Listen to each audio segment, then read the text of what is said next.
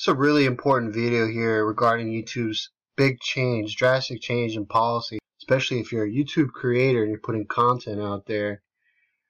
Now, it was so easy with the annotations. You had so much flexibility that you could put in any link you wanted for as long as you wanted. It was just too convenient, too flexible for YouTube to let that continue. You might say, why is YouTube doing this? Why is YouTube taking away your ability to add an annotation and links and so forth? Well, I thought about it. It was about their bottom line and not your bottom line. They're concerned about keeping traffic on their site. They probably realized over the years doing all this analytics of you know what was going on and how they're losing people to other sites. And they want to stop people clicking away from their sites. Is there a business decision to get rid of this annotations? They're allowed to do this because they're going to say security reasons or whatsoever. It's their platform. And unfortunately, YouTube is the biggest dog on the block, and there's not really too many other dogs that are willing to take YouTube on. This does leave YouTube an opening that if another competitor like Vimeo could come in and offer people the way annotations on YouTube, a competitor could do pretty good on the market just by having that because there's a lot of YouTube creators they're going to lose a lot of money now. I mean, annotations is a pretty big deal for a lot of people that are, you know, selling products online or want to leave links to their website. They're going to get less less traffic to their website now. Now, a lot of people prepare for this. There's a lot of people that saw this coming. They went all in with the cards and the end screens. But the, here, the problem with the cards is they only pop up for three, four, five seconds and it's very small in the right hand corner. By the time you think about clicking on it, boom, it's gone already. And end screens, let's let's be real here. Not a lot of people stick around to the end of a video. YouTube knows that. They know that they can get their ad revenue by hitting people in the beginning of videos, in the middle, and toward the end, they really don't care. They do care, but this is all about their bottom line, remember. You do have some time if you still want to add annotations to your videos, not so much time is left. Here's the reason. Oh, well, you know, cards and end screens work on mobile devices, but not annotations. Well, they did that on purpose. They they don't want people on their mobiles clicking away from YouTube. They want to keep people on YouTube. If they wanted to put annotations on cell phone devices and stuff, they could. But this is simply a business decision on their part an end screen is always going to be to another playlist. It's always going to be back to YouTube. So, I mean, they're doing this purposely to keep, you know, this traffic circling to their site. We'll continue to listen to your inputs as always. I can tell you, like, the overwhelming majority, when you read some of these comments from, from these YouTube creators, they are pissed off. I mean, the of the old school ones, that's all they do. They, they got annotations in all their videos. It's a shame it's going to be gone. They're saying, oh, it's decreased over 70%. So for this reason, the time has come to discontinue the annotations editor. Effective starting May 2nd, you'll no longer be able to add new or edit existing annotations, only delete them. Existing annotations will continue to show when using a desktop computer. So they are giving you some time. You have till May 2nd. So I bet you there's going to be a lot of YouTube creators right now. They're probably going to go into all their videos and uh, add annotations. And I think that's probably a good idea if you want to track back to some sites that you wanted to to get in or you want to add some links to your website or something like that, it's going to be gone. So not everybody reads the, the description. So that's what it's going to come down to. You want to leave links. They're going to be in the description. And a lot of people, they don't go to YouTube to read a description. They go to YouTube to, to watch a video.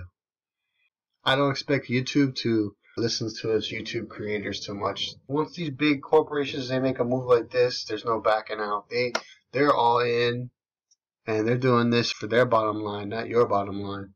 You're gonna see the overwhelming majority of the people they're not too happy about it. Adaptations are so much more versatile than end cards. Can we keep both? End cards only work for the last 20 seconds of a video. And what if I want to link to someone to something before then or add a link or title to that video? So that's the top comment. It's got 354 likes.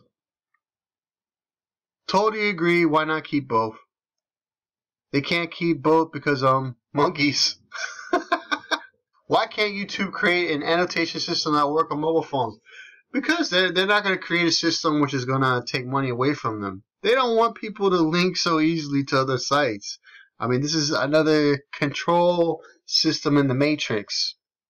But I think cards, I mean, I've used them, but I don't think cards are very effective. I mean, maybe there's some other people that know how to use them much better than I, but I just don't see people getting the same response rate using cards as they did with the annotations. But they, if they're gonna do this, and this guy has a good point here, Michael, please keep both, or at least add all the functionality of annotations to cards. They're not gonna add all the functionality to annotations of cards.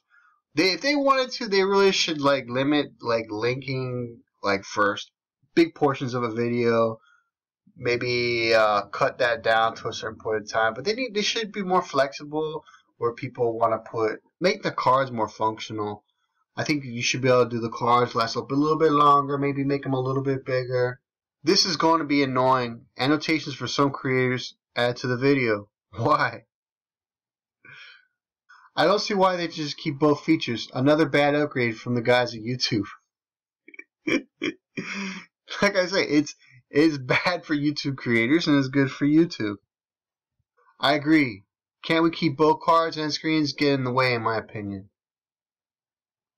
I like annotations. I don't see too many people like the overwhelming majority here. They they don't want the annotations to go. I know it's gonna be a big blow to a lot of people.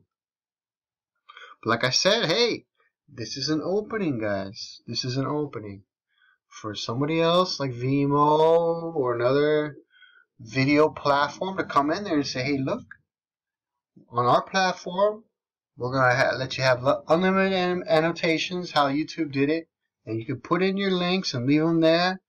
You may, perhaps, you know, maybe somebody can grow out of that. We'll see. I doubt it, though. Annotations is the way creators supplement information or correct their mistake without re-uploading.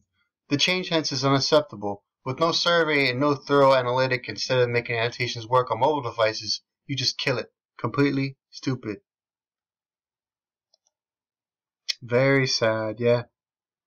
Yeah, a lot of people are going to be mad about losing annotations. It's too flexible, guys. You get too much control, too much power. That's what it is. The cards get barely utilized. I know they do. I'm pretty sure that's why YouTube likes it, because you know, the cards are short, hard to see.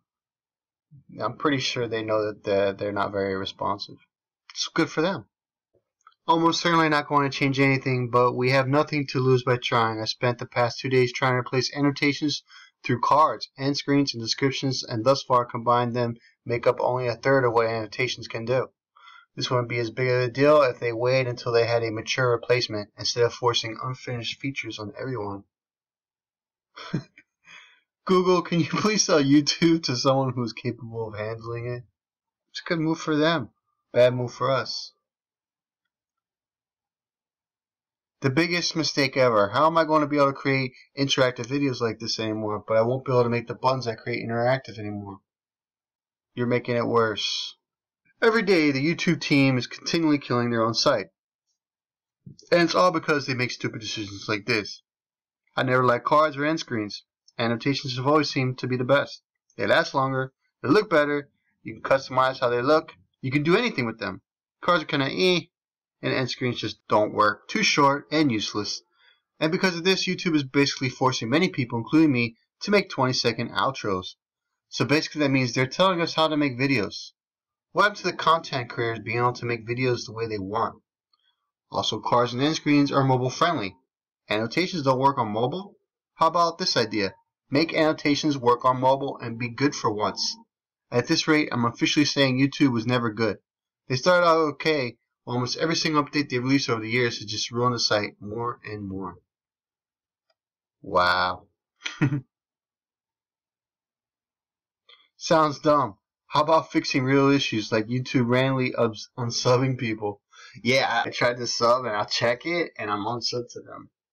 And the weird errors that have been popping up while trying to upload. Prioritize, guys. Enough with the paper shuffling so the boss thinks you're doing something. Make YouTube great again.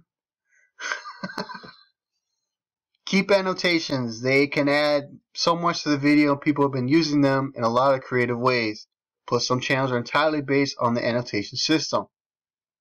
And their content is highly entertaining. If you get rid of annotations, it absolutely destroys us. It's end cards that suck, which is why I never use them. Don't get rid of annotations, please.